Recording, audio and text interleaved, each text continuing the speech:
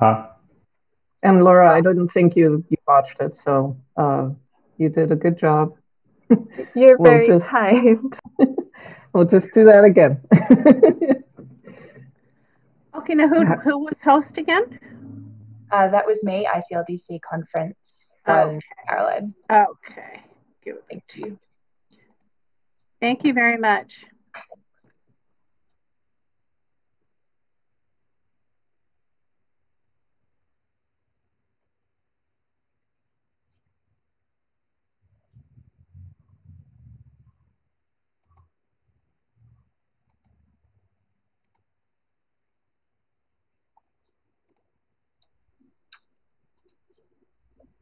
Um, have you put the hosting privileges back to me? Oops. That was a mess. Let's do.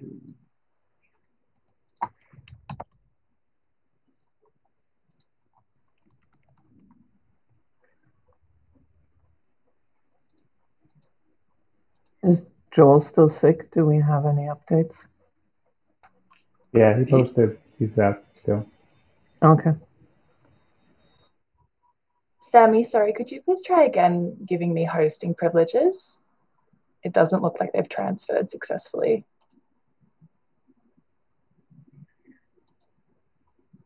Let's make sure I gave them to the right person here. So let's, oh, it went back to me. Okay, let's see. ILCD conference one, right? Yeah, that's correct.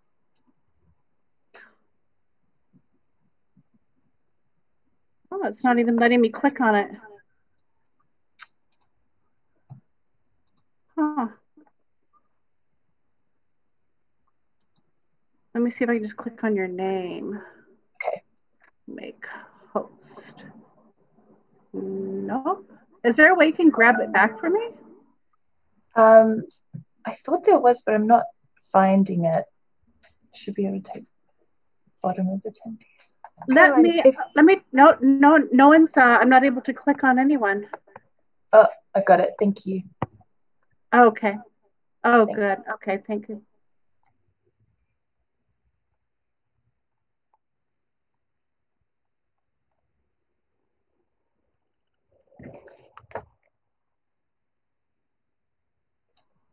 Laura, did you need to be spotlighted? Um, no, it's okay. Okay,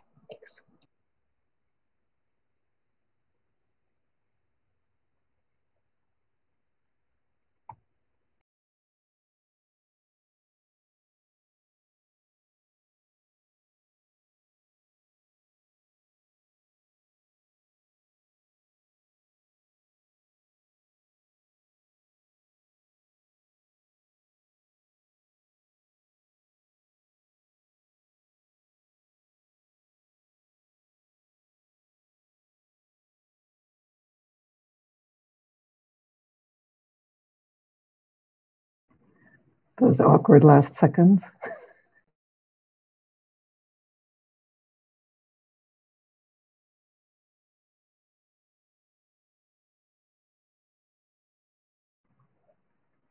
Yeah, I think we're ready, Laura. Wonderful. All right, so let's start this workshop.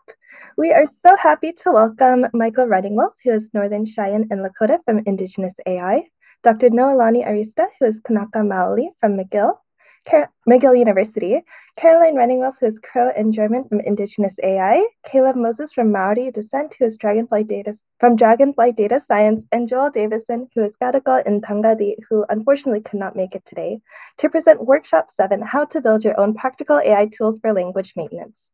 And now I'm going to turn it over to our presenters.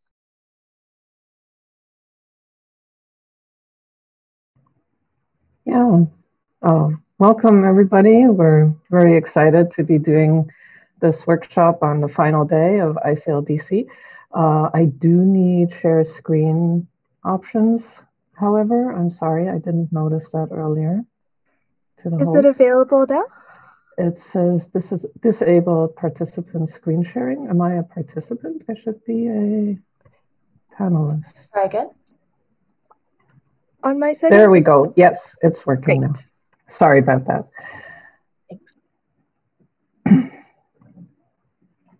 So I was going to start out by walking you through the, uh, oops,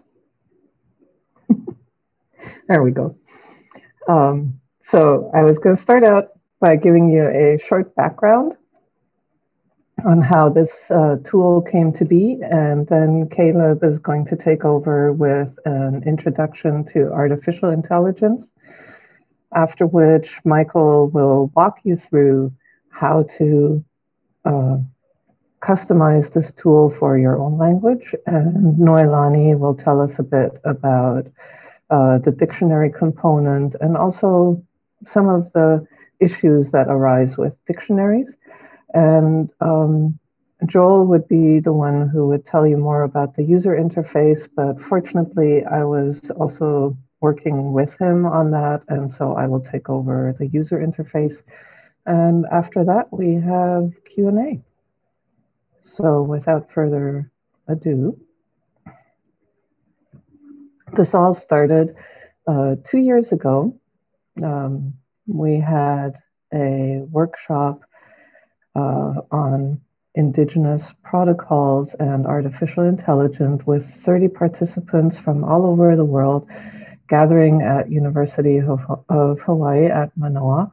And our goal was to reconceptualize AI systems and consider and explore how indigenous protocols, for example, concerning maintaining relations with non-humans, uh, can also help us imagine our relationship with AI systems. And um, if you look closely, you'll see that I missed the photo op uh, because I actually snuck off to the ICLDC poster session and we forgot to Photoshop me in later. um, so after that initial workshop, we returned to Hawaii, a, a small subset of 15 participants returned to Hawaii in May, end of May, the same, uh, the same year, for what was meant to be a writing workshop. But in our situation, we were kind of pre-assigned uh, into recommended groups, and our recommended group had the tentative title of Team Prototype, and we looked around the room and we saw we have two software engineers, Joel and Michael. We have a data scientist, Caleb. We have access to these amazing Hawaiian language and culture knowledge keepers, uh, Dr. Arista and Ikaaka. And then, of course, there's me with a prior life as a nerd herder or project manager for technical projects. So it just kind of like we just looked at each other and we said, okay, what are we going to do? Are we going to write theoretically or are we going to just build something? So, of course, we decided to just, you know, spontaneously turn this week into a hackathon. And 20 months later, um, with intense discussions, and uh, spanning, I think, 20 time zones in total. The Indigenous Protocol and Artificial uh, Intelligence position paper came out, uh, was officially published on July 14, 2020. And it also includes our technology prototype and a whole section where we explain about, about that. Our technology prototype is called uh, Huaki'i, and maybe Noelani might explain a bit about the naming. Hey, aloha. Um, we came up with, we, we started to discuss, you know, what we're going to be, be building. And between Ika Aka and me, after we heard everyone's description of, well, what is an image recognition app doing?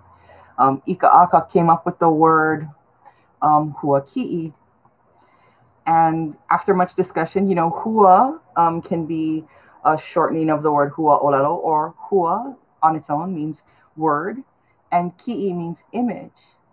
But in Ikaaka's thinking about it, he said, well, hua also means fruit or seed, um, or to grow, right? and ki'i can also mean to fetch, pluck, or pick. So he put the word phrase into a little mo'olelo or story.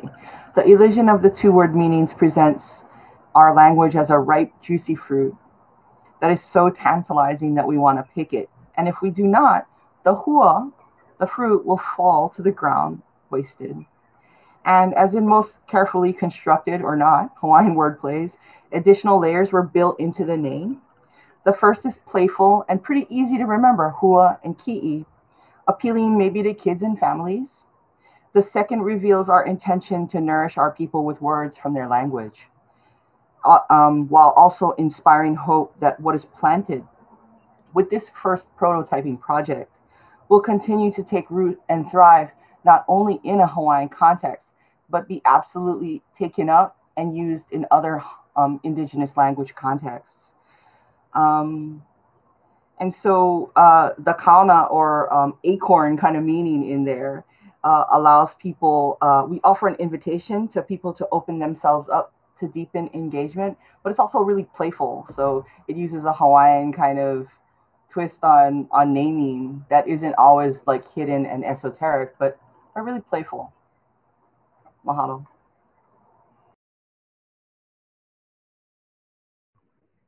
Yeah, mahalo, Noelani. I will now share a short video. Oh. Why? I'm sorry, I seem to be having some. You're not sharing a screen either. Yeah, I know, I know. There we go. Sorry about that. So this is a video that we made to introduce the app.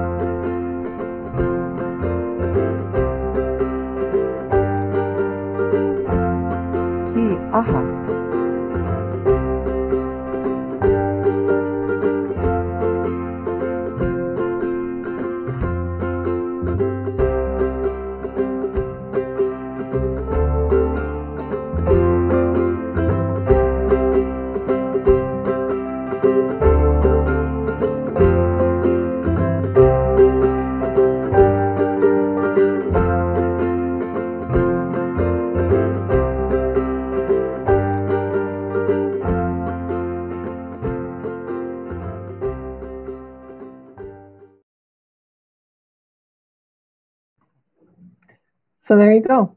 Um, that's the Huaki'i app that Michael will walk you through in a little bit. Um, and I just always love watching this video and seeing that surprise in Nailani's face. The meaning for cup is ki'aha. Who would have known? um, yeah, anyway, I think, Caleb, do you want to start giving the basics on artificial intelligence?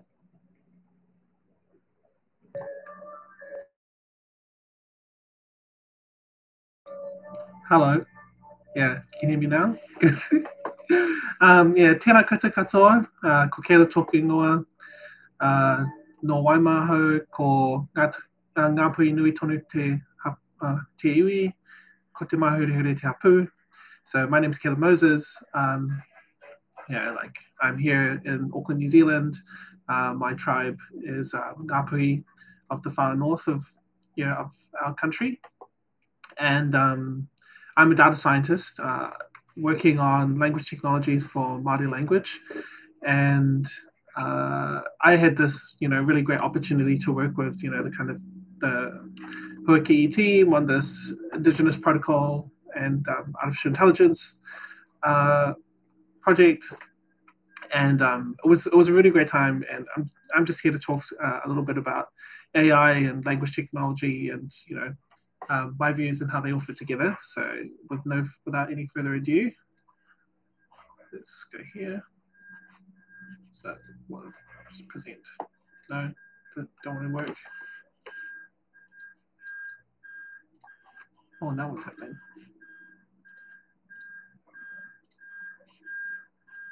Okay. Yeah, now. Can you see it or are you stuck on? No, you should be able to see it. Good. So, um, yeah, so I'm here to talk about AI and just kicking off. So, um, the state of indigenous language technology. So at the moment, um, you know, I think that we can all see that language technology is undergoing this kind of huge transformation. So now we're kind of um, seeing um, language, you know, language algorithms and so on being deployed at great scale across people's devices onto phones and, you know, laptops and so on. And um, there's a, increasingly a drive towards, you know, providing uh, like uh, kind of machine learning, artificial intelligence driven uh, language services to people in the real world. And um, that's all really great uh, in a manner of speaking, but um, there are also problems where um, the benefits of these technologies are distributed very uh, inequitably in our society. So you've got some languages that have got heaps of resources and there are lots of algorithms for them, and you've got other languages where uh, there's very little um, available for people to use and so um, you know obviously you've got your english where you know you can talk to your phone in english you can talk to your phone in japanese chinese mandarin um, and so on but um, there are a lot of language communities that are shut out by that process and so um, you know our indigenous languages are among among uh, some of the kind of hardest hit by these sorts of technologies it's not very it's not very common for indigenous people to be able to talk to their devices in, in whatever their language may be and certainly that's even true uh, here in New Zealand. And it's something that we're working on fixing uh, in my day job. Um, but uh, Indigenous communities, you know, we're also very motivated to engage. So it's like, um, you know, we see ourselves as um, as innovators, as people who kind of drive for change, and and also who have a lot of cultural knowledge that's kind and like to apply it towards, you know, the proliferation of our own languages and also the um, allowing them to flourish and ensuring intergenerational transmission. So there is this need for um, widely available, uh, you know, ind- indigenous language technology. Um, and just talking a little bit about how this technology works. So, you know, just generally speaking, you know, artificial intelligence, it works by generalizing patterns which are discovered from large data sets. So the idea is that you'll collect some large uh, volume of data, be it, you know, and in, in the case of language, this takes the form of uh, text corpora.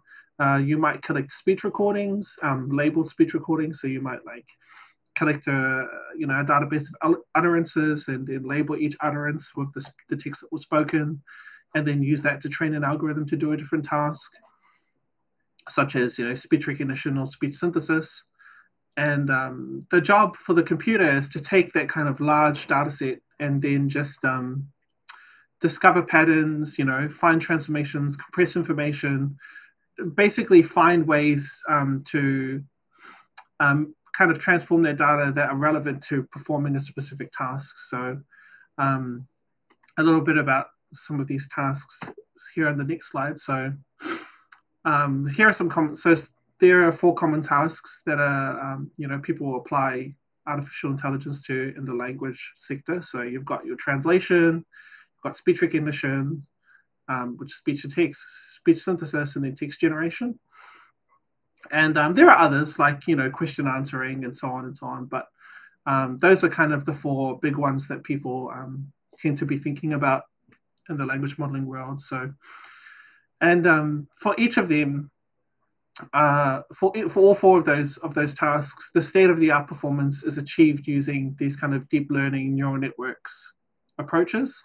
And like the on the right hand side, there's like a schematic for one block, like one operation. But what you can kind of see is that there's like inputs and there's outputs, and in between those two, there's like a complicated, um, you know, network of um, of transformations. You know, you do this operation, you do that operation, and then these these operations get arranged into blocks, which again have their own kind of crazy structure. But um, the point is that they kind of provide a way of um, uh, what's the word? Kind of performing the task in an automated fashion, and then the, the goal. Um, there's a there's a lengthy training process where you um, you run the model through various examples. It takes predictions, uh, makes predictions, and then um, you score its predictions relative to what you know, and then provide feedback, and then the whole system is updated, and um, you know iteratively improves um, up to some limit. Uh, yeah, so there's that. So um, with regards to applying AI to these under-resourced languages, um, such as indigenous languages, you know, Māori language and uh, Kanaka Māori, well, I mean, Wamole, Hawaii, and so on. Uh, there are there are some really big gaps, and so um, I also want to talk a bit about those. So you've got uh, at the beginning you've got kind of cultural knowledge and expertise, and so you know the the problem there can be that um, uh, it may be hard to source people who have uh, who know the language really well, or maybe um, there are lots of people who know the language really well, but um, those people might not be in the tech communities who have these kind of um, who have the capability to um, train these complicated models. Um, there are also problems around, you know, um, how how to connect with language communities.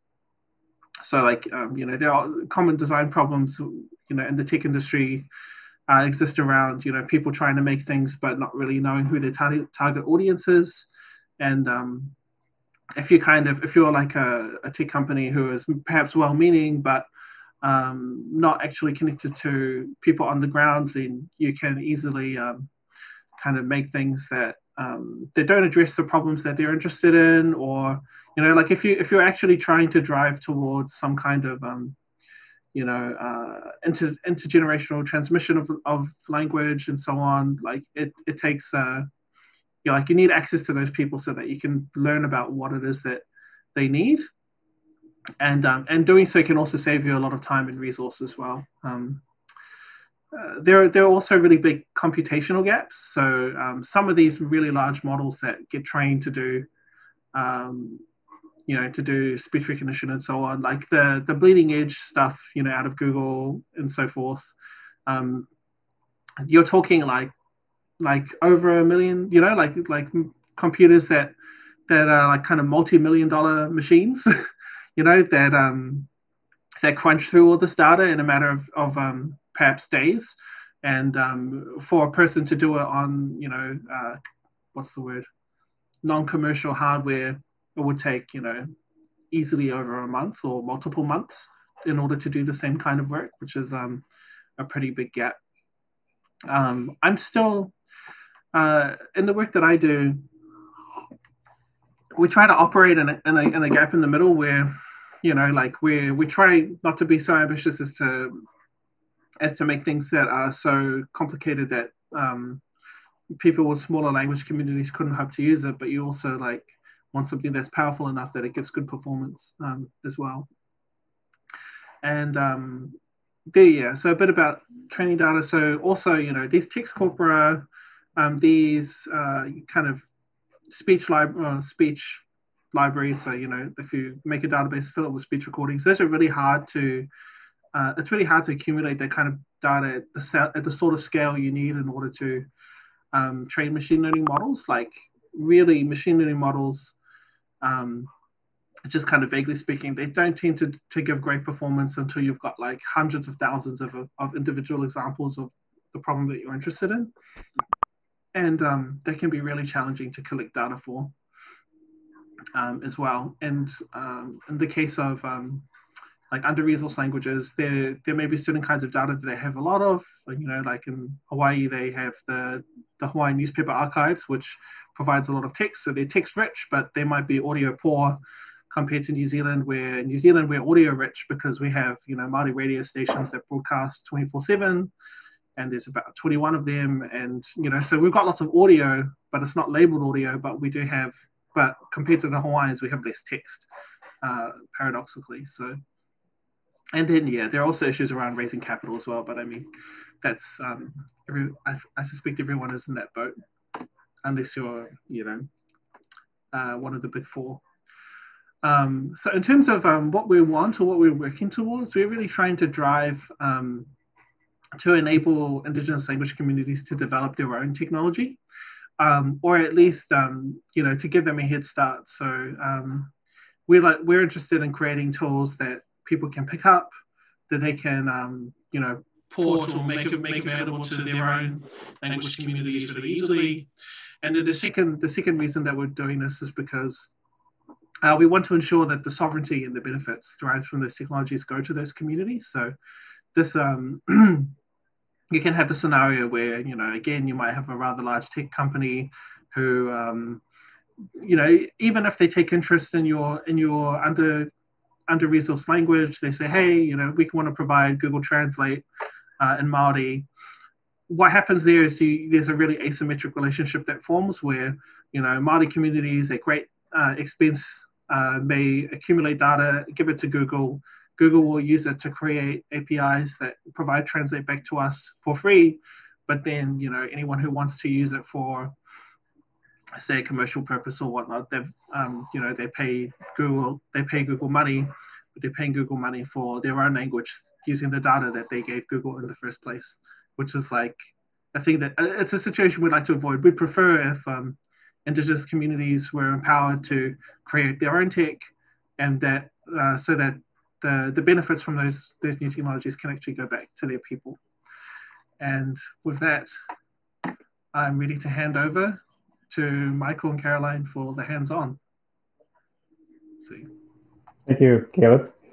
Uh, yeah, so before we get started, I think what we'll do is my lovely assistant uh, Caroline is going to do just a real quick demo of this app, and then I'll get into how to make your very own. So take it away, Caroline. And this is the Hawaiian version of Huaki'i.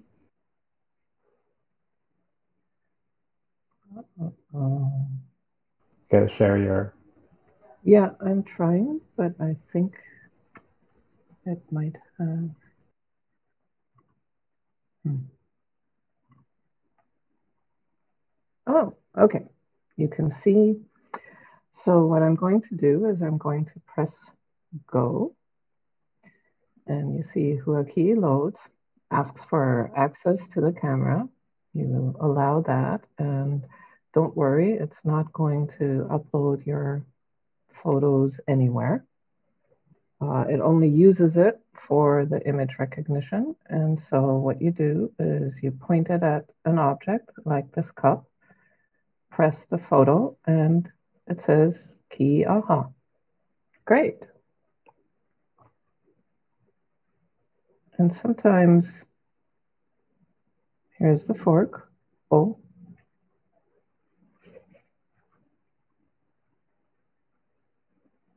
Pola. And Kelepona. So that's it. Thanks, Caroline. And so maybe just before I hand it off to everyone there, um, so just real quickly, this is how it works. It's a on device. Number one, privacy issues there is that uh, everything is happening on the phone. So you're not uploading the images to a server. Typically, that's actually what you would do is you take a picture, and then it gets uploaded to the server, like either Amazon, Google, whoever, Rackspace, and it gets uh, there's an AI server out there that processes your image and then sends back the response. You've actually I've engineered in the past week so that it's all on device, so there's no privacy concerns. The only thing it's doing is that when it's loading, you see the camera icon spinning, and what's going on is that it's loading the AI. And so what's happening here is that you send in the picture, uh, say it's a picture of a dog. Uh, the AI looks at it, uh, runs its uh, uh, Caleb Maori magic, and then it spits out a word for what it saw. In this case, it would see maybe a dog. Uh, and then what we do is then we intercept the, the response with the dictionary file, and then translate that into Hawaiian. And they're, they're, this is amazing and great. It makes it easy to develop, but also there's some limitations which we'll get into later on. And so I think the first thing we want to do is if you point your phone, get your phone out, and if you point at this, put turn on your camera app, this will bring up the link and turn on the, uh, send you to the URL. And the URL is uh, huaki'i and I'll put it into the uh, chat as well. You can also do this on your desktop if you don't have your phone handy, but I encourage you to do it on your phone because it's a little more useful uh, for you on your yeah, your mobile device since it has a really good camera built into it. Uh, and so if you have questions or something is unclear or if I'm moving too fast, please put it in the QA or put it in the chat. Um, I'll watch that. Okay, so now that everyone got it on their phone, you'll notice at the top of the app that there's sort of this little icon here. It's actually like a cat um, octopus. It's the GitHub logo. Uh, and what that would do is actually take you to this page, which is the GitHub page. And I'll also copy paste that into the uh, chat right now. And so how do you create your own version of this for your language? Uh, one thing to take note is that there is a limitation. So if you go to the GitHub page here, you'll see that there's a docs folder. And in that docs folder is a dictionary.json file. And this is how it works. So I was describing earlier in the diagram, uh, the dictionary, that's the dictionary here. So if you go in there and you replace uh, these words with your language, you will have your very own app. Um, and so there's a couple of ways that there's a limitations here in that the AI model only recognizes 80. And so we filled out 80, uh, 72 of those 80 words. And, and so it's been pretty, that's how, so we're limited to what the AI recognizes. We're using an AI uh, and model provided by Google, uh, which is pretty limited, only 80 words. Um, there are other bigger models out there that will give you over a thousand words uh, that was just untractable uh, given our limited resources, but someone could do that. Um, okay, so is, is there at least a few people out there who have got it on their phone? If you put like a thumbs up in the chat, uh, make sure my mic is working. or raise your, raise your hand. Use the Good. raise your hand. Awesome. Cool. Okay, so this is how what we're going to do. So there's a couple of ways to fork this or create your own app. Um, the hard way is go through GitHub, which I'll talk about later. But the easy way is if you go to the Glitch website. So if you're on your browser or on your mobile phone, you can go to Huaki Glitch and that's going to load the Glitch version. And there's two versions. There's the, the, the GitHub version and the Glitch version. And what you can then do is click the remix button, which is these little trout here. Um, and then when that does, it loads up the Glitch website.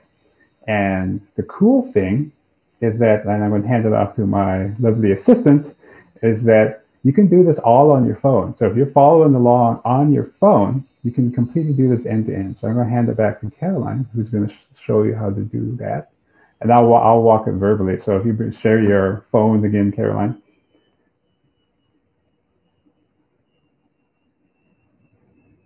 Share your um, yeah, there you go. Okay, cool. So what happens when you share the, you create the remix on Glitch is you're going to go here and then Caroline is now going to click on the dictionary.json. And if you click the little icon in the top right, the, yeah, there you go, perfect. And so there you go. So this is where you would change it. And we got like a, uh, a read Magdance gave us some words. And so we're going to go in there and replace the, the word for cup with I'm going to butcher this colon, colon, and um, please forgive me, Reed. I'm getting this wrong. but what we're going to do is that to demonstrate how easy it is, and then there's bowl and phone, um, and then so okay. once you change, I changed the word for cup. Okay, and then so what you then do, so we just obviously you uh, and the audience will want to do is fill this out more. And then what you then do is you click the, there's sunglasses at the top of the, the page. And you do in a new window. And what that does is launches your very own app. Um, and so now it's loading, allow. And then if you go over to the cup and now we will be in in I think I am saying that in in Nupiak? Nupiak. I'm terrible. I'm sorry. Caroline's the one who really should be saying this. So, and there you go. In five minutes, you can have your very own app. Um, one thing's important. I'll take over again, Caroline. Um, is that uh, you can do all do this. You can do this all on your phone or Awesome. This is a Caleb is following along. Good job. And you can even do this for Maori too, uh, Caleb, if you wanted to. You don't have to use someone else's language. I bet you have a large corpus. So everyone out there, linguists, documentarians, you guys have corpuses and you can really easily deploy this app. Uh, of course, obviously not every language is going to have uh, everything relevant um, in here because there's a lot of random things, like refrigerator, remote control, sandwich, and these you may not even have words for that. So that whatever. Um, important thing is you do need to sign in to Glitch. I think what's going to do is going to prompt you. Let me see here if I, what's, what's going to happen is that if you don't change it, uh, let's see, I did that something wrong. Um, what happens is that you need to, when you mix it on Glitch here, come on, again, Okay, what happens is that it's going to ask you to um, sign in, and you can just use your Google account or Facebook or whatever you're going to use. Because if you don't sign in, your app will disappear, uh, and then all your work will disappear. So what you want to do is make sure that you sign in, and otherwise it will disappear. I think after five days, but I wouldn't wait too long. You want to create an account as quickly as possible once you do this. Uh, once you edit your your uh, dictionary file, and that's pretty much it you know, this is a web app. It works so long as the page is loaded, it'll work offline-ish. Uh, obviously, you need a website. Um, and to do it the hard way now, which is what I'll do, um, is through the proper way. Now, if you wanted to create this into an app, which you can, unfortunately, Joel's not here, which is, uh, he's actually is the expert on mobile app development. Um, there is a harder way to do it. All the instructions on how to do it on Glitch are right here. The harder way is that if you have a GitHub account, you sign in obviously, and then you fork it. And then there's already five people from the last session. And then what that does is create your very own version of this code. And then you go into the docs and then you can edit your JSON file right here. And then, or you can even change the way the, the code, there's like the index HTML has all the code for the displaying it. And also there's like little images in here for the icons, so you can even change the icons. Um, which it's all open source. We put it under the very permissive GPL3 license. We only ask that you uh, be ethical about it. Don't go in there and say that this is uh, do something bad with it. Uh, and yeah, I think there you go. I think that's my portion. If you have any questions, we'll open it up for QA next. Um, but remember now, this is limited and I some of those limitations. This is what uh, Noelani is going to talk about next, and good luck about remixing this. Maybe real quick, Michael, before before Noelani jumps in, um, can you just give that chain from uh, the indigenous dev site to the GitHub site to the glitch site? Yeah, so I'll just do a real quick recap. Uh, good point. Thank you, Caroline. Uh, so, okay, let's see here. Where is it going? Let's see here. I think I don't want to share everything. too big. Uh, let's see here. There we go. Come on. Is it going to the window? It seems to be sharing everything. I don't want it because it's too big of a screen. No, it's going to the window. Okay. It's not showing out. Sometimes I hate Zoom. Okay, so here we are. For this first thing you want to do is, of course, uh, on your mobile app, you can go here, uh, the Huaki'i website.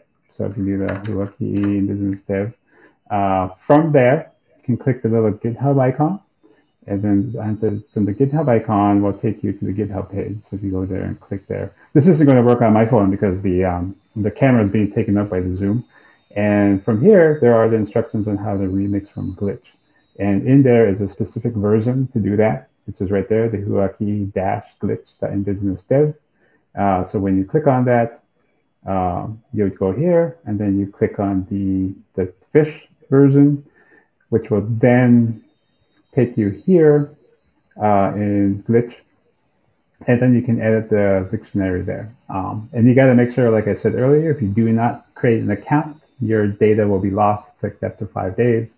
So you want to make sure that you create a glitch account. It's pretty easy if you already have an email, a Gmail account or Facebook account. There's also a variety of other options. Um, I can just real quickly click on that, and you can see all these different options of uh, creating your own glitch account. And oh yeah, uh, one thing I forgot is that when you do show your app, it creates a whole new URL. And so this will be unique to you. This one is Juniper Political Sands. I think it's like randomly generated. Uh, you will have your own version every time you click that remix button, a brand new version is created and I have a brand new URL. So don't use that because that one's my app. What you want to do is use whatever app gets generated for you when you click that button, that's yours. That's your personal version. Uh, yes, okay. Just real quick. Thanks, Caroline, for reminding me to do that. Okay, take it away, Noelani.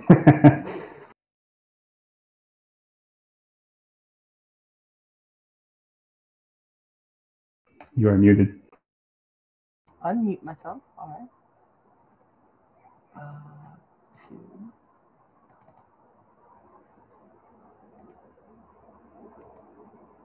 Right. Hey, aloha mai kako. O Noelani Arista ko uinoa. No Honolulu mai au. Uh, e, e, uh, i keia manawa e ne e ana i Montreal. Uh, lilo ana i Polopeka ma McGill University. So aloha, my name is Noelani Arista. I'm from Honolulu. Um, at this time, my house is all upside down because I'm trying to move from Honolulu to Montreal, where I can take up my position at McGill University as a professor um, in history and classics. Um, so let's see. Huaki'i, an object detector. And I called it a Hawaiian world viewer, word viewer, world viewer. And I think that many of us, if we work in language reclamation or historical language reclamation, we all we must always um, must must be fantasizing right about waking up one day um, in a world where our native language is spoken everywhere around us. Um, I am reminded of the many years that I, it took me to learn Hawaiian language in college. Um, even though my grandmother was a native speaker, um, she didn't she didn't really teach the people um, who came after her, but I did hear her speak Hawaiian when I was um, younger. Um, and I remember being in Hawaiian trying to figure out, well, how am I going to learn all this vocabulary? And taking post its and sticking them around the room to name objects in my sort of daily routine of living. Um, Huaki'i is this innovative like app that lets you use your digital device as almost a point and click dictionary. Uh, Huaki'i was an important exercise for me to engage in because it allowed me to take my decades of training in Hawaiian language and research in Hawaiian language archives, work that mostly occurred on paper or with uh, native speakers, um, and more recently has shifted to computers uh, during the com- pandemic um, into a mobile digital medium. Amidst all of the approaches um, that we can devise to reclaim or return people to their languages, the power of digital applications and indigenous AI can be shaped to serve the needs of diverse communities in different stages of language growth and revitalization. In 2021, I've come to find that indigenous people can contribute to worlding our worlds, worlds again, wording our worlds again with the aid of technology without ceding sovereignty over our knowledges to large foreign corporations. To be truthful, it was a bit intimidating for me to be in a room with data scientists and computer computer scientists um, and being placed on a project team that was developing a new technology. As the person with the least amount of training in technology, I often wondered about my capacity to contribute constructively. Building a simple list of words for huaki'i to sync with images occurs for me within the context of works that I am very familiar with, Hawaiian language dictionaries. So I prepared a slide of some, but not all of the Hawaiian language dictionaries that we have available to us in Hawaiian. Um, and after all of my years sort of working in print mediums, I could probably tell you a little bit about each of the dictionaries and the the differences and the kind of special things that are incorporated into each different dictionary. Um, the 1887 dictionary of Hitchcock, for example, has an appendix that incorporates words and phrases in Latin or Greek in Hawaiian. Um, it also has proverbs um, and all manner of other kinds of extra material like names in Hawaiian or common phrases. And it also reaches back to uh, produce words um, in English into Hawaiian that we don't have in the 1986 dictionary. Um, so each dictionary had its own kind of flavor. Um, as part of my work as a historian, I'm often building specialized word lists um, for projects in Hawaiian religion or legality or governance. So being asked to build a short reference list for this program seemed, you know, really unproblematic. And yet, um, as it happened, on the day that we were compiling, working on compiling a common list of words, Ikaika Peng, the other team member who uh, is fluent, was fluent in Hawaiian, and I were sort of sitting at the kitchen table going, okay, you know, book, puke, we said in unison, cup, ki'aha, fire hydrant, paipu kinai ahi. Then we got to the innocuous word backpack, and I said, eke kua, and he said, paiki, and I said, no, eke kua, for your back bag for your back. And he said, no, paiki. And we were, we found ourselves at sort of this little humorous impasse where we were bickering over one word.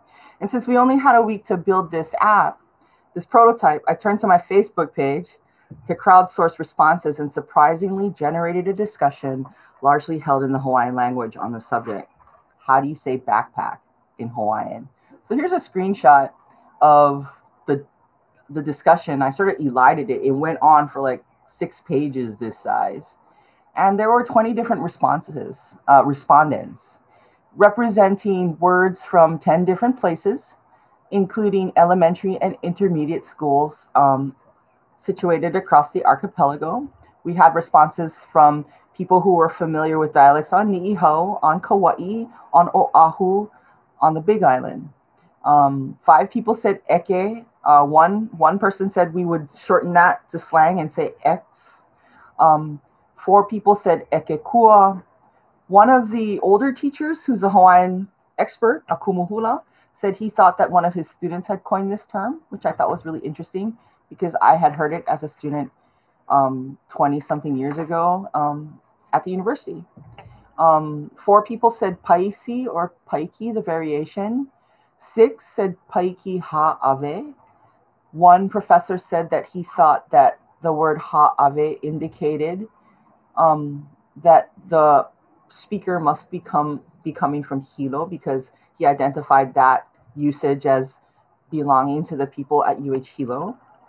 Eke ha'ave was for people who were in between, kind of Oahu usage of eke and Hilo usage of ha'ave. But then I went back and I looked in the uh, Hawaiian language, one of the Hawaiian language dictionaries, and saw that ha'ave is to carry a burden on the back.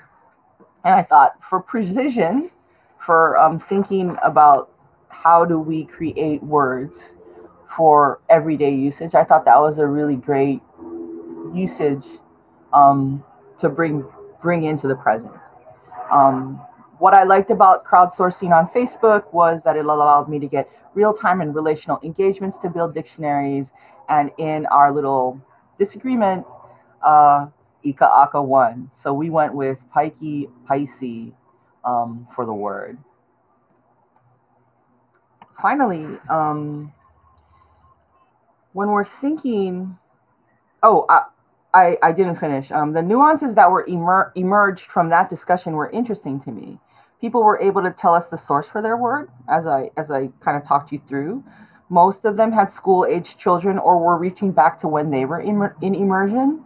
And most of the people responding were parents or teachers, or they were talking to their kids in real time saying, Hey, what's the word? What do you use?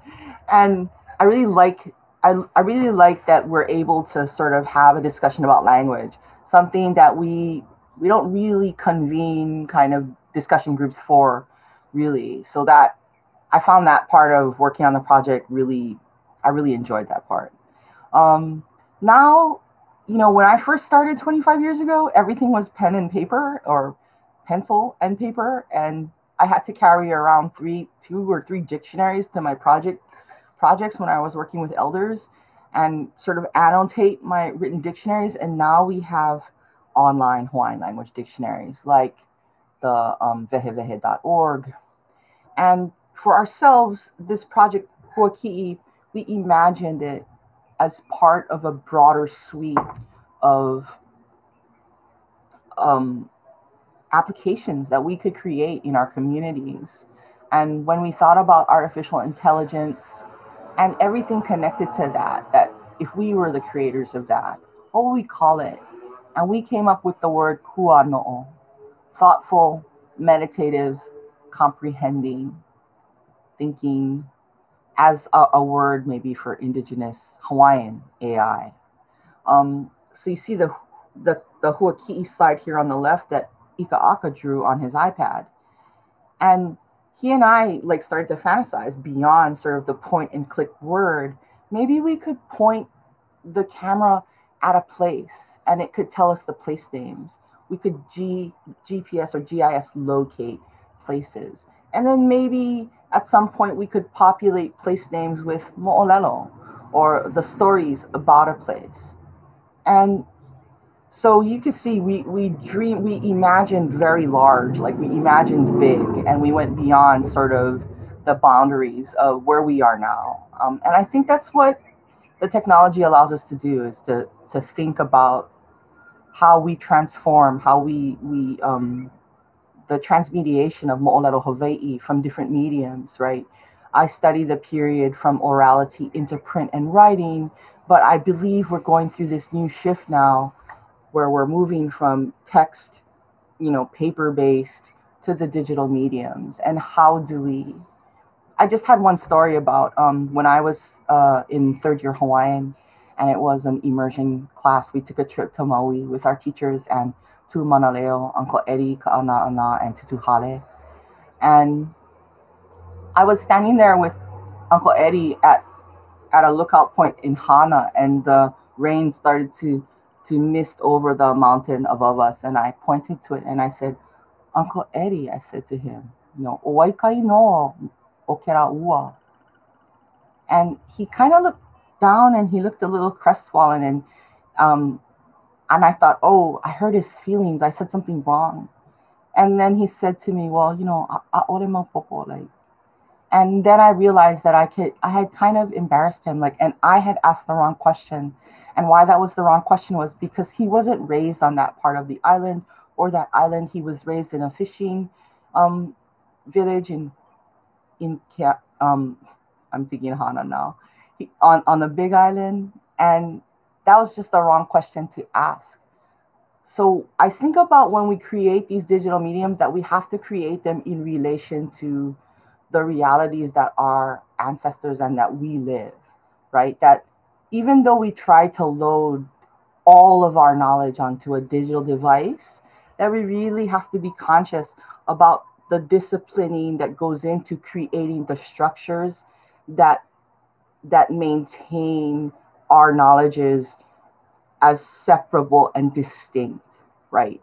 That this knowledge came from a particular place, that we don't collapse all knowledge and make it into everything, all, all Hawaiian knowledge. And that's the only caveat I would have about creating digital devices is that we remember that the purpose of creating an aid to our learning is so that we become the knowledge keepers, we become the ones with that ike that lives with us and in our families.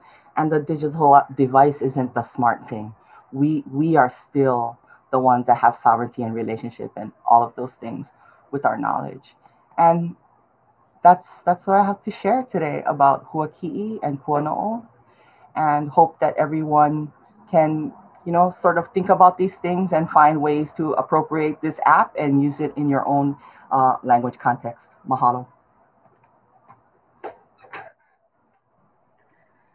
Thank you so much, Noelani, and, and thank you for reminding us all of how how we came to Huaki was actually from looking at a, a larger picture, a potential future of of having a lot of different types of knowledge combined, and and Huaki is only you know a very small possible subset um, just to kind of get started on that. And yeah, like you said, the knowledge uh, is always with us. The tools are only supportive. They are not going to be what saves the language if we don't save it and the culture and the knowledge. We have to do this uh, as people, and we can use the technology to assist us with that.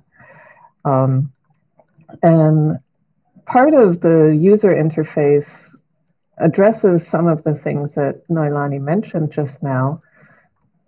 Um, because, like she said, we started out with this bigger picture, and then we also collected a wish list. And um, and as we were collecting the wish list and putting out ideas, we also uh, had this discussion of, you know, what what are the things it should be able to do um, and as the backpack discussion came up, it became aware to us that um, it's not just a location of this is the location of a language, but maybe even this is the location of a language variant. So the Hilo variant of Hawaiian is different from the Oahu Honolulu variant, and it should be possible to adjust accordingly we also had uh, feedback options similar to to replicate that that kind of discussion that came out of the backpack situation. And um, because i saw that earlier in the q&a or chat uh, the the zebra being a terminology that's not very important for inupiaq in alaska we had a similar situation uh, for Hawaiian where we said, okay, the word for skis, um, maybe there is a Hawaiian word for skis, but it's not really important. Uh, so we just didn't fill that item. Um, but something I just wanted to emphasize here with our user interface design, one of the things that we paid much attention to was that we wanted people to uh, immerse themselves in their language and also not be hobbled by maybe uh, insecurities of how to spell something. And that is why we, we went with uh, eradicating English in the user interface, having iconography instead, and using the image recognition as a way of asking this mobile dictionary um, for the Hawaiian term for cup or bowl or fire hydrant or whatever. And as you just noticed in Michael's hands-on section, uh, it is easily extensible for more indigenous languages. So there you go. This is our workshop. Uh, we are now ready for the Q&A section. And uh, yes, mahalo. Thank you very much we're excited to be able to share this with you. Yeah, so what we'll do is, um, so there's a consistent couple of questions that are going to come up, and then we'll answer the, if you have questions, please raise your hand. But real quickly, Caleb, I think you'd be the best position to answer this. Why can't we add new words to this model? Uh, uh, I mean, the answer is that we can, but we can't do it cheaply, right?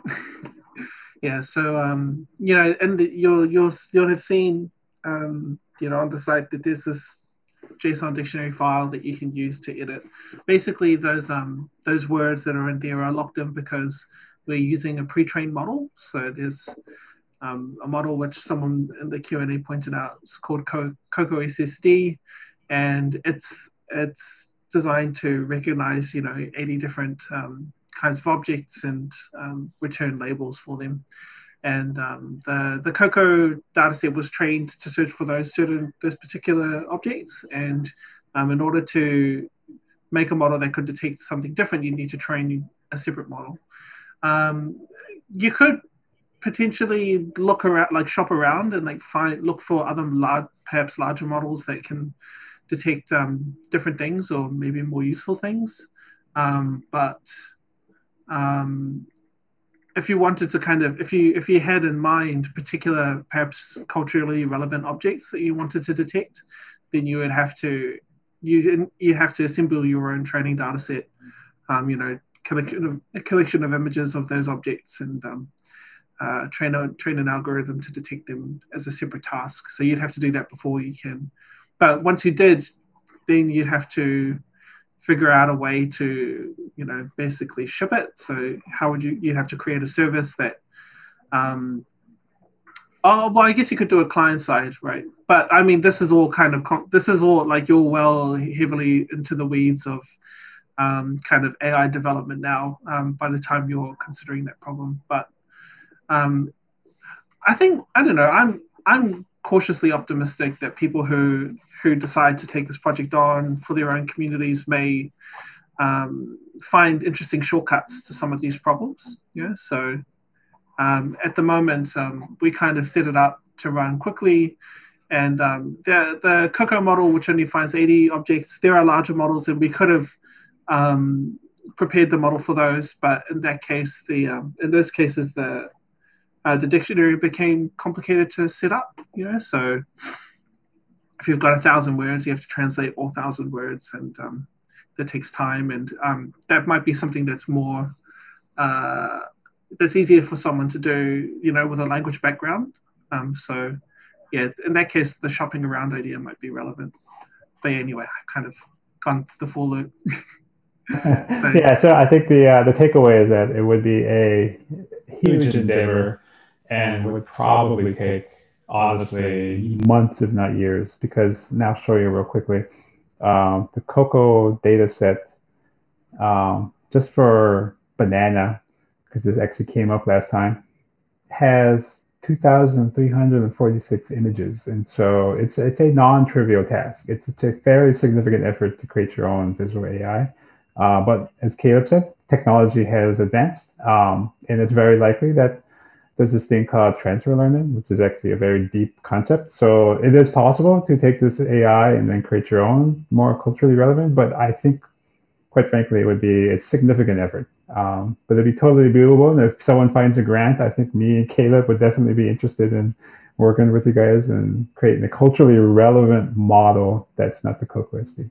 So that's pretty much the, the short the short takeaway is that it'd be really expensive. It'd be really, you need a significant amount of energy and effort. Uh, okay, so we'll just go on to the live questions. Uh, Lane, are you prepared to ask a question? And if you have any personal want to talk, raise your hand, please. Okay, Lane. Lane Schwartz. Uh, yes. Yeah. Uh, sorry. I. I. Hello. Can you hear me? Yep, we can hear you. Okay. Uh, I think you already mostly answered the questions. Uh, yeah, I was.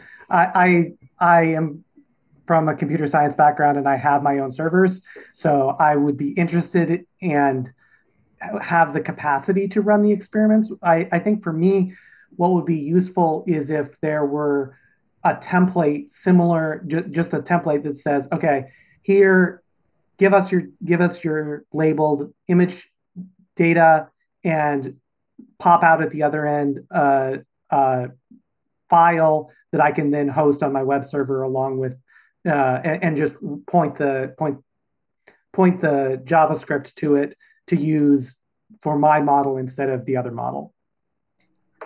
Yeah, it will be. It's doable. I mean, it's just. It's I mean, I, I yeah, yeah, yeah, I I'm not an image person. I, I do work in machine translation and morphology, computational morphology, but something like that. If anybody n- knows the how-to of training Coco style data, um, that would that that process might be very useful uh, for people who do have the hardware. Cool. I could. I don't know. This is that's a fair point. like I feel like I could probably do that in a weekend. Um, I will think about that. Because yeah, uh, from from my perspective, that would also be a really straightforward way to get huge, potentially huge amounts of community engagement. So Yeah. I work with the St. Lawrence Island Yupik community, and I could easily imagine pointing. The, I mean, I'm planning on probably this week pointing the demo and showing it on Facebook with hmm. Yupik examples for these 80, 80 categories. And I could easily see if I do that and say, hey, if you guys could provide me with images, labeled images of all of the important sites on the villages and the, the culturally specific items, I could train a model. And I could easily imagine lots of community support for, or at least potentially for kind of a crowdsourced data set of image of culturally specific images. Yeah, Yeah. and uh, to uh, just real quickly, real caution from you is that so the COCO, and I'm not sure about modern. The COCO is actually kind of old. Um, I think it's like at least 10 years old, I believe, right, uh, Caleb? Uh, it's pretty old. Uh, what they do is they outline in like some sort of editing program, outline the object. So the banana actually has an outline. So the label isn't just like image. This is a picture of Lane. It's like your whole profile is outlined. I'm not. I, I think we.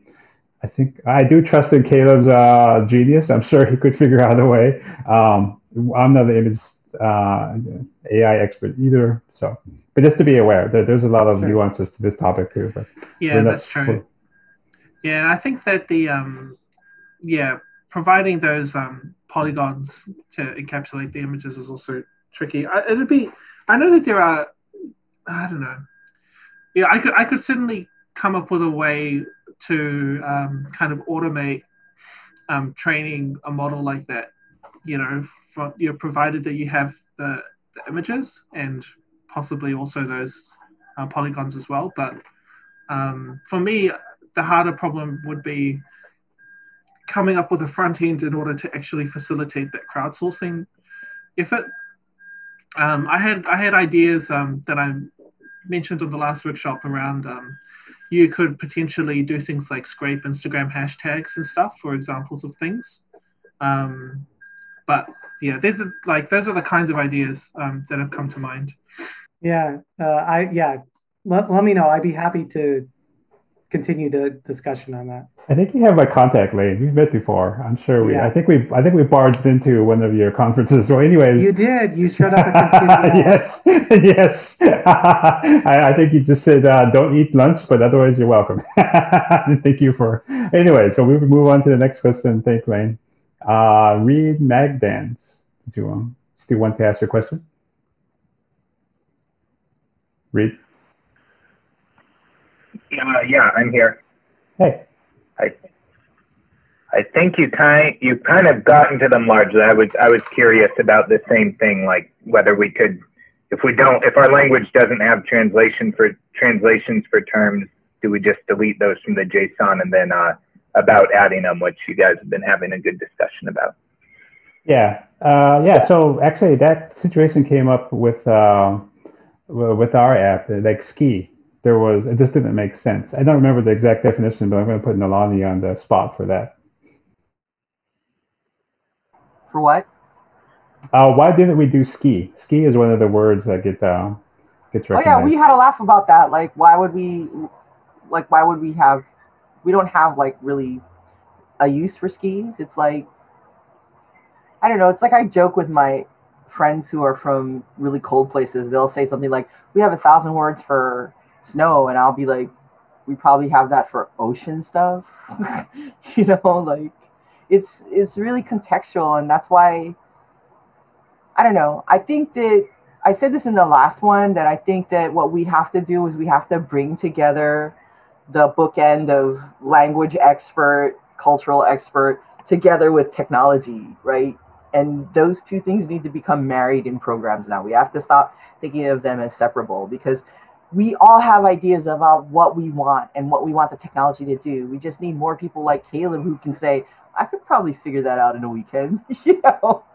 and I gotta say, I've been really spoiled working with this intertribal group of people um, because you know when you when you work intertribally you can also slip all of the typical political issues or problems that you're always going to be having if you're always just working at home and also working with a group of people who aren't Hawaiian, who are from different places and have different experiences really enrich the process and and you I, I don't know, it can't speak for every I can't speak for Michael, but it made me approach everybody with a little bit more res, more kind of respect because I wasn't sure about anything.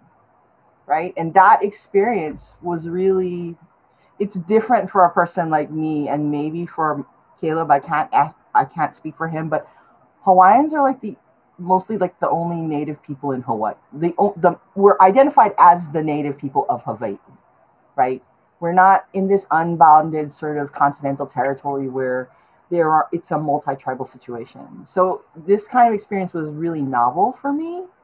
Um, it's an experience I had more of when I went into the Pacific, like to Rapa Nui or Tahiti or Aotearoa, where I'm not the person from there. So just to say, like, we can also do this work um, in, you know, uh, intertribally sort of pan-indigenous, right? And not have to melt down or boil down all of our differences, but that the differences actually matter to make things really, really wonderful. I don't know. That's great. So a couple a couple questions has come up from Mizuki, and I'm uh, going to maybe just real quick. Reed, was that was that answering your question? Uh, yeah, that covered it. Thank you. Thank you. So I'm going to put Mizuki on the spot. You've been you have an interesting idea on how to turn this into a uh, a classroom activity. Maybe you can explain what you mean or your question more. Hi, Michael. Um, Caroline, good to see you. So, uh, which questions? Oh, like you were saying, like, can you put this in the classroom? So maybe maybe you can explain. Yeah, I mean, uh, I mean, in, in uh, not um, um, uh, so much about the classroom, but to encourage young students from um, uh, communities, indigenous communities. I'm thinking about some couple um, communities in Montana that I um, uh, support their revitalization efforts and um, they are really into um, teaching languages in classroom. So maybe the classroom situation too. But um, sometimes uh, in the places that we go to, um, type of education or the STEM education is very different. What are the goals that the students have, what are the type of the households that they have. Um, some students very struggle. So I was wondering if this could be actually um, something that to um, encourage them to further their education and maybe eventually to join their, their own language revitalization project. So I was asking if this, um, the, the level wise is something that they can jump in right now, and it sounds like it is. So um, I'm very um, fascinated by the work that you guys do doing right now. And uh, another one was, uh, is it gonna, is, is it is there room for the, the app to include sound?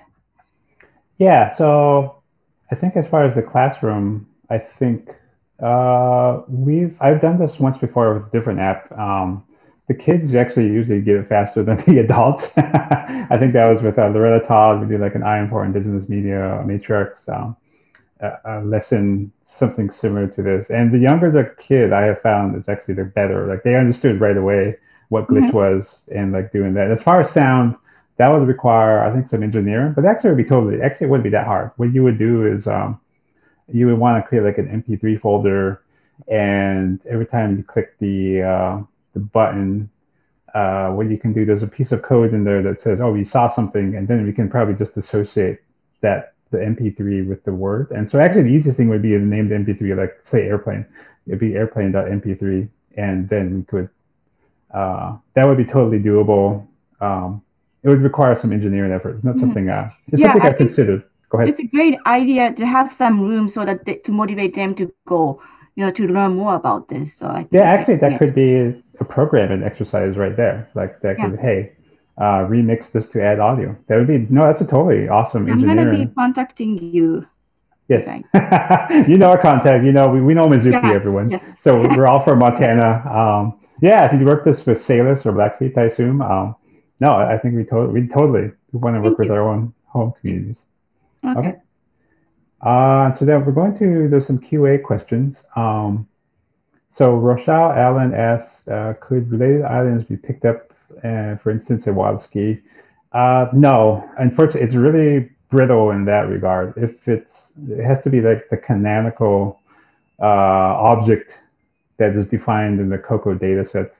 Uh, I put a link into the COCO dataset. I'll put it in here, okay? But if it's not um, in there, it won't recognize it. The thing about AI is that if it never has seen it before, it's really hard for it to see anything. Oh, maybe if it's like approximately closer, it depends upon the, the parameters of what it's seeing. Uh, it's more like some deep AI discussion around what exactly that means. Um, now, it's actually kind of related to, I'm not going to even try the first name, uh, Solomon's. Um, so we have found that the problem with the data set is very white. if you have the a WASP, you know, white Anglo-Saxon person bowl, uh, the bowl that Caroline used was the most white bowl we had in the house, basically. so it's not going to recognize the bowl that has like maybe like those beautiful Mexican bowls or even like the the southwestern, you know, clay bowls. It will not recognize it. It, it will think it's something else randomly, and so it, it, again, it's a problem of um, uh, I guess a little bit of colonialism in the data set. The data set is very white oriented, very, you know, quite frankly, the data set you can show that it was made in San Francisco. And so things that are common to the San Francisco life experience, that's what will get recognized. Uh, typically. Aloha ha'are Leo. Um, we, we came up with this question too yesterday, and the example was what different kinds of bananas, right? yes. That, right? Like 31 flavors of bananas, I don't know, which we might have in Hawaii or in the Pacific. And so it goes back to the question that Caleb answered earlier about training the model to see um, through our way of seeing. And it's, you know, earlier on with Aloha 365, we did try to direct our audience hey, if you have pictures of X, hashtag it with Aloha 365. And I could run through, you know, things and pull images to theoretically, you could maybe, like Caleb said, scrape them to scrape them if they're random, but I directed my audience to do it. So scrape them to have a data set, but then you have to prep that data set the way that, you know, you showed it yesterday. You showed the outlines and the, remember? Like, I don't, I don't know if a lot of people know what you mean when you say that thing about the outline today, you know, because you showed it the other workshop. But you just have to prep the data set, and that's that's that's the time consuming thing. Yeah, so like the bananas in these pictures, like here's a good example, is outlined, and that's the training data set. So someone or some organization went through all the trouble of looking at a bunch of pictures of bananas and labeling them bananas. Um, quite a bit of energy and effort. Then what you want to do is then create subcategories of that, and uh, and we're kind of limited. That the AI is limited to this data set. Whatever, whoever someone tagged. So like to the other question earlier, like Lane was saying, it would be fairly substantial bit of energy and effort.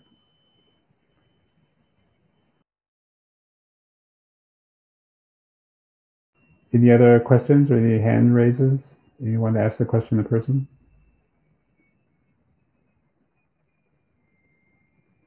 It sounds like Connor has made three apps already. Congratulations.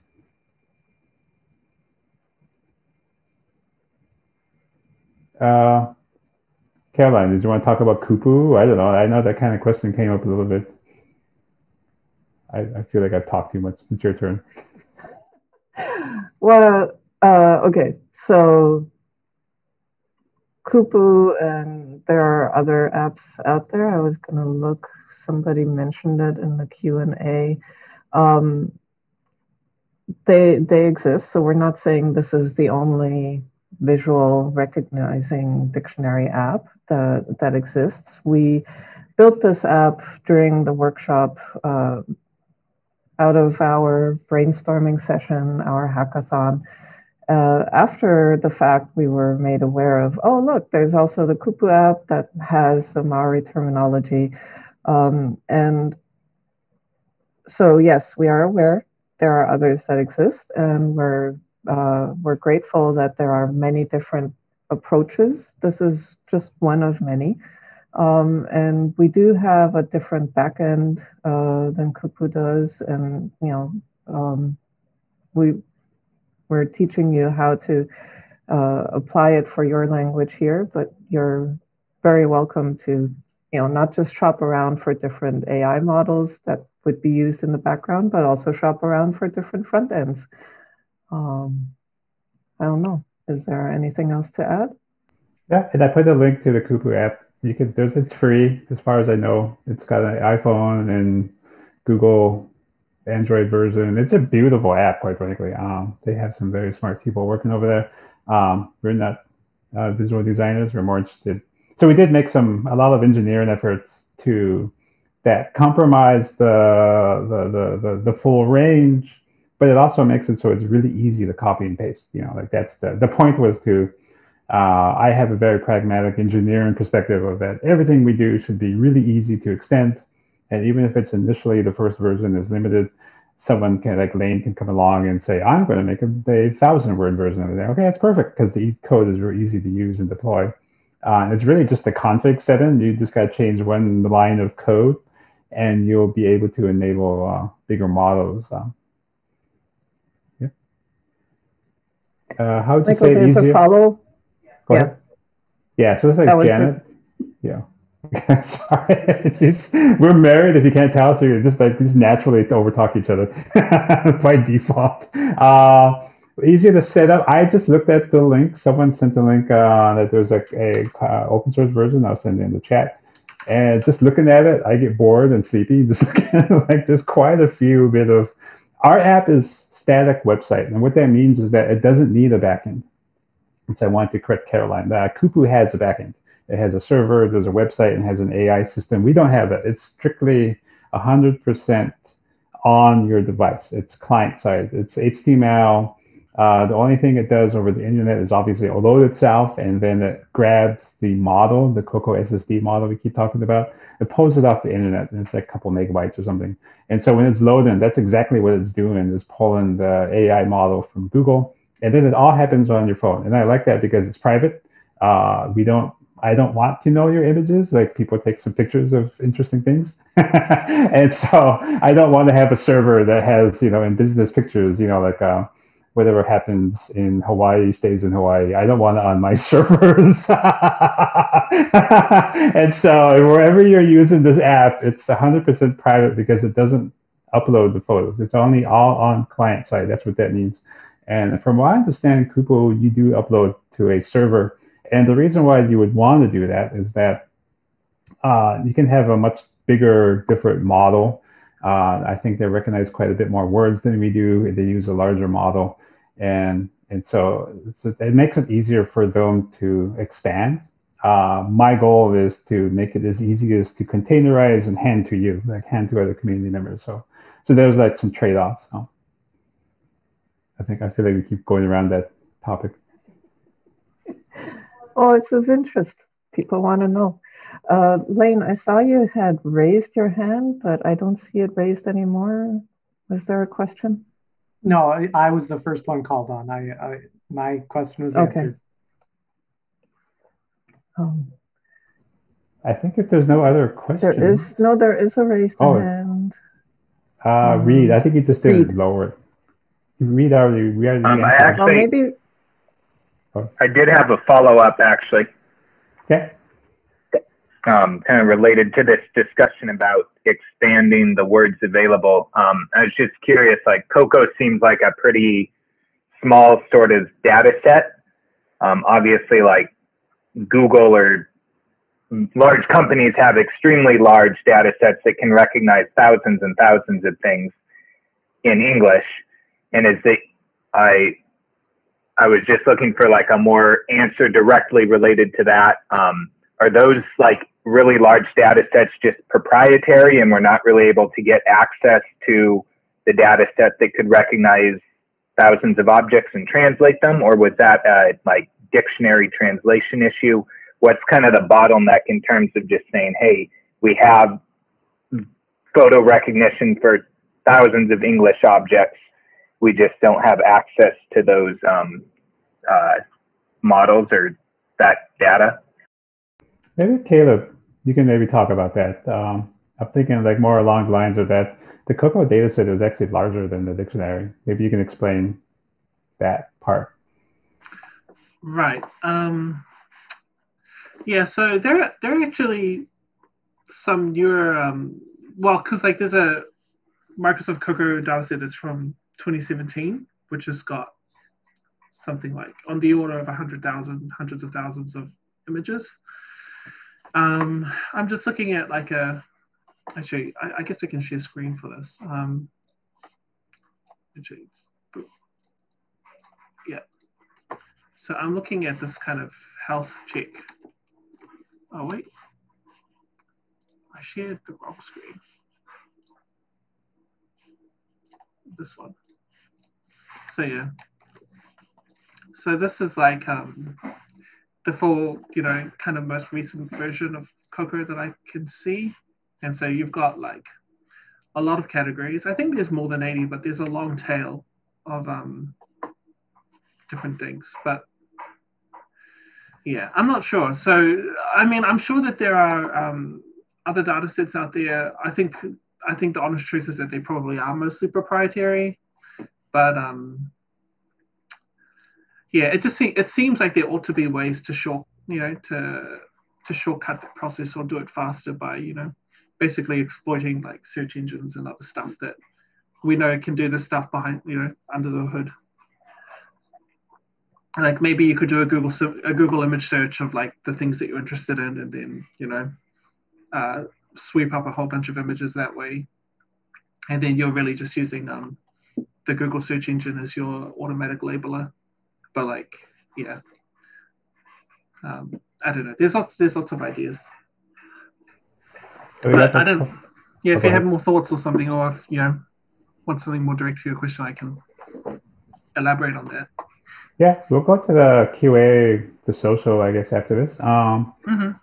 got five minutes. Did you want to have any closing remarks since we're technically on your territory nolina? No uh, noe Nolani. she hasn't spoken up. I'd like to see, uh, make sure everyone gets uh, some speaking time. Yes, he wahi mahalo ke ia i nga koe i ako mai ke ia au ina lao. Pule. Um, I think that people just thanking people to, for their time for showing up uh, this Sunday afternoon to um, be with us to to listen to to our project um, that we did. And hopefully, this becomes the seed for more projects. And hopefully, we can cross pollinate and, you know, sort of switch up teams and work together. I, I'd love to work on a Hawaiian team that wants to do more of this work. And, you know, um, I'm spoiled. I got to work with some of the best people right now in this area of knowledge Caleb, Michael, Joel, and Caroline. Um, yeah, so oe wale. Uh, he wahi aloha ke ia oko pakahi a Thank you.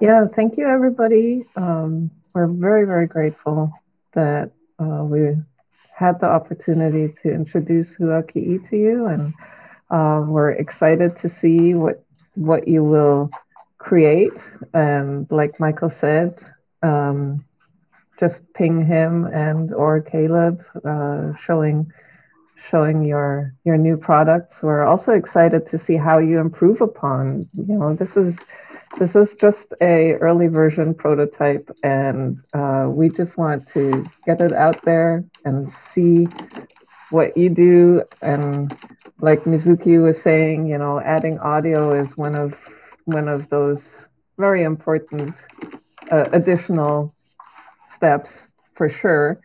And if you're interested in reading more about uh, what we did and why we did it this way, I am just going to post the link again to the position paper. And other than that, I think yeah, thank you so much for the questions and the discussion and um, have a wonderful rest of your day.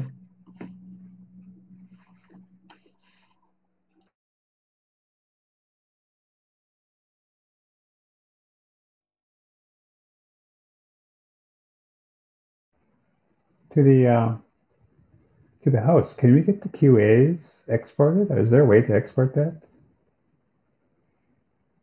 Do you know? I'll I'll see what I can do. Yeah, but it could be good to add these questions as a FAQ on the GitHub page. If it's possible. Like I don't see any obvious ways to do it.